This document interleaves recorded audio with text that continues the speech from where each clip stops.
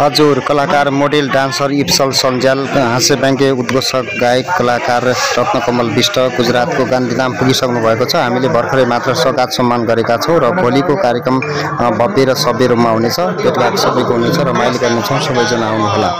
March एक्काइस तारिक आउँदैछ भनौँ।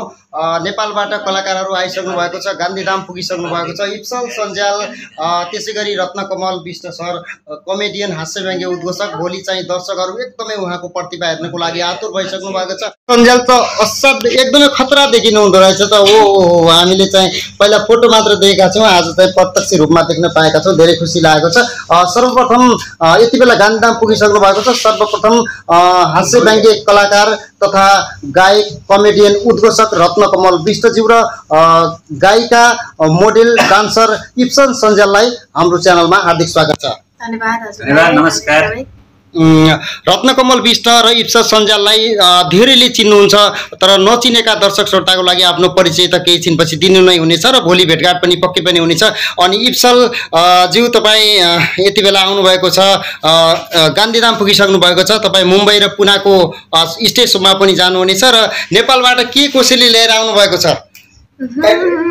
नौला चढ़ियान पल देखे गाड़ी चढ़ी चढ़ियान दिया माया नौला चढ़ियान मिलना मन छेता मैले चढ़ियान नौला चढ़ियान मंदिर पहले मंदिर एकदमै मिठो गीत गाउनु भएको छ। राम्रै रहेछन् इप्सल नानी इन्डियाकी ऐश्वर्या दिलखानी।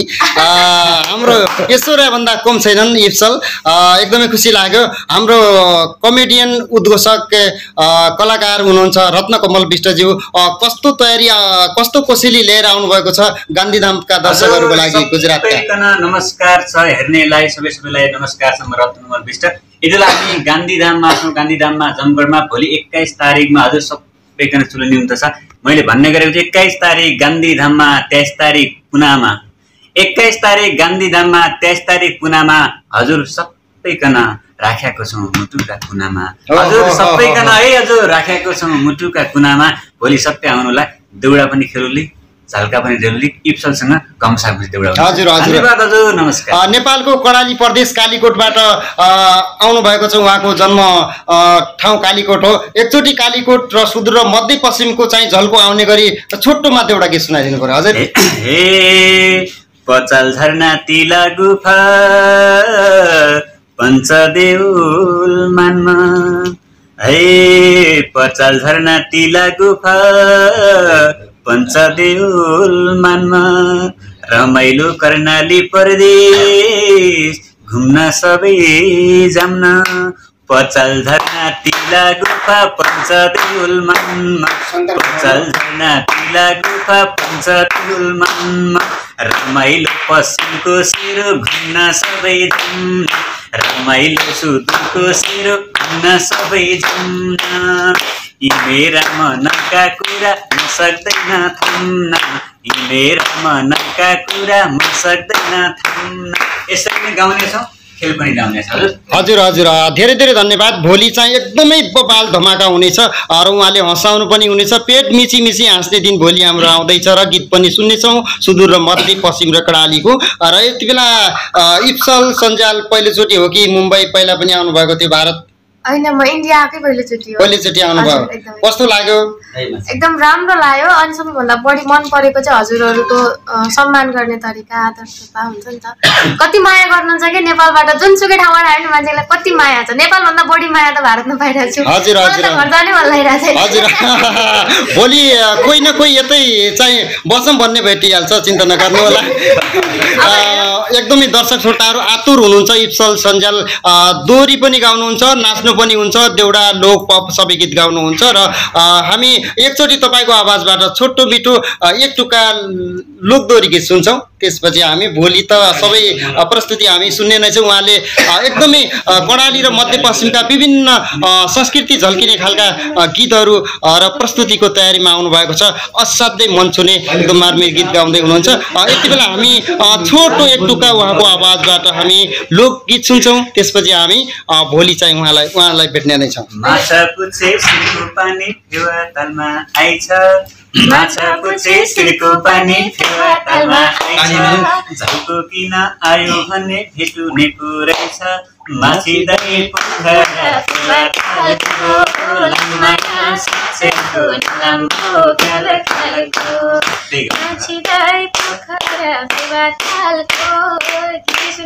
गीत सुनाएर के भन्नु लोकदोरी भनेपछि ठ्याक्कै देउडा गाउनु आइदियो ठ्याक्कै एउटा झल्को कालीकोटको झल्को लालीओटको भन्ने गीत गाइदिनु। एउटा गाइदिनु कर्णालीमा बाटो खोल्दा भुइँमै खुट्टा छैन भारतमा पाइलो टेक्दा भुइँमै खुट्टा छैन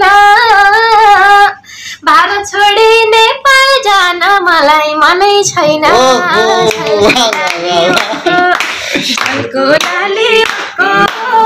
बाटो खुल्यो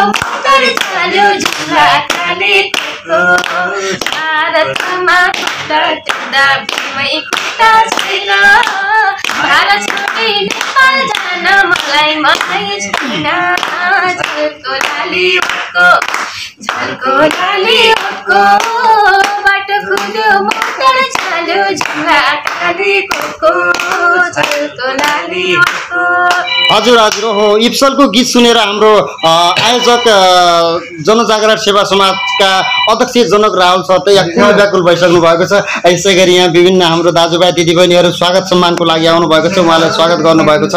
सबैलाई धेरै धेरै धन्यवाद।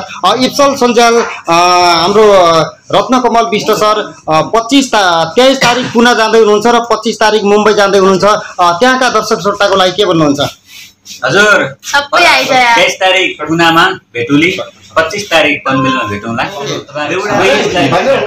धन्यवाद। हजुर बम्बई पुनाका दर्शकहरूलाई श्रोतालाई के भन्नुहुन्छ? भोलि गान्धीधाम गुजरातका दर्शक श्रोताको लागि के भन्नुहुन्छ? सबैजना आइदिनु होला। है मलाई चिन्नु हुनेले त चिन्नुहुन्छ नचिन्नु हुनेले पनि चिन्नुहुनेछ तपाईँकै चेली तपाईँकै छोरी आएको छु तपाईँहरूको मायाले तपाईँहरूले बोलाएर तपाईँ सबैजना आइदिनु होला। रमाइलो गर्नुपर्छ। हजुर आयोजक जनक सर कस्तो तयारी छ कार्यक्रमको अलिकति? तयारी अब। भोलिको तयारी अब ठिकै छ सर होइन? सबै कुराहरू अब एडजस्टमेन्ट हामीले गरिरहेका छौँ। अब हाम्रा अब कलाकारहरू यहाँ पुगिसकेका छन्। अब भोलि बिहानमा सबै पुग्ने तयारीमै छन्। ओके। टिकासानो बिहान पुग्दैछन्। ओके हजुर। धेरैभन्दा धेरै सेयर गरेर सबैसम्म यो सूचना पुगाइदिनु होला। भोलि सबै आउनु होला तपाईँ आउनु होला र अरूलाई आउन भनिदिनु होला। भोलि हामी सबै भेट्नेछौँ सँगै रमाइलो गर्नेछौँ